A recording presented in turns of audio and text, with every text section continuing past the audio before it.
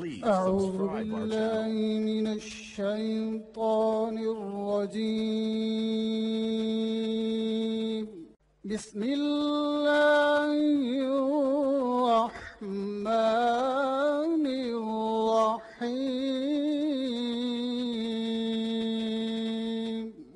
السلام علیکم ناظرین، امید کرتا ہوں آپ سب خیریت سے ہوں گے اور اس پاک رب جلیل کی رحمت کے سائے تلے ہوں گے۔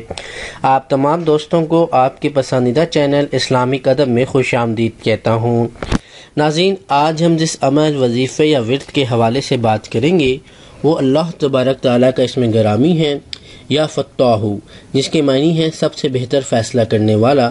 آج ہم آپ کو بتائیں گے کہ اگر آپ نماز فجر کے بعد اللہ تبارک تعالیٰ کا اسم گرامی یا فتح کا اکہتر مرتبہ ورد کریں تو اس کے کیا فائدے ہیں، اس کے کیا فضیلات ہیں، اس کی کیا برکات ہیں۔ دوستوں اگر اس کی فضیلات برکات سننے کے بعد آپ اس عمل کو کرنا چاہیں تو اس کی اجازت عام ہے۔ جیسا کہ آپ جانتے ہیں کہ ہمارے چینل سے جتنے ہی وظائف بتائے جاتے ہیں، اس کی اجازت عام ہوتی ہے۔ اسی طرح اس وظیفے کی بھی اجازت عام ہے۔ مجرب عمل ہے آزمایا ہوا عمل ہے۔ جس شخص نے بھی یقین کامل کے ساتھ کیا ہے، اس نے اس کے سو فیصد نتائج سے فائدہ اٹھایا ہے۔ ساتھ ہی ساتھ ہر عام اور خاص شخص کر سکتا ہے یعنی خصوصی اجازت کی بھی ضرورت نہیں ہے۔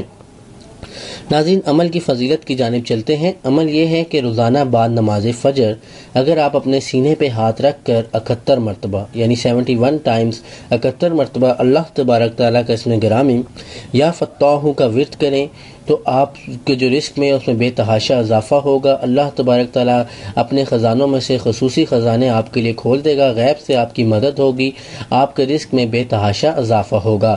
اور ساتھ ہی ساتھ آپ کا ہر کام آسان ہو جائے گا۔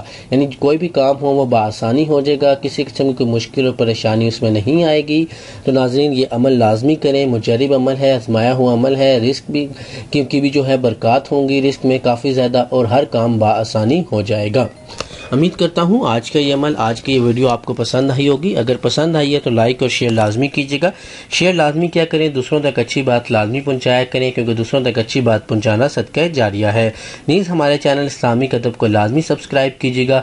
بہت شکریہ۔ اللہ حافظ۔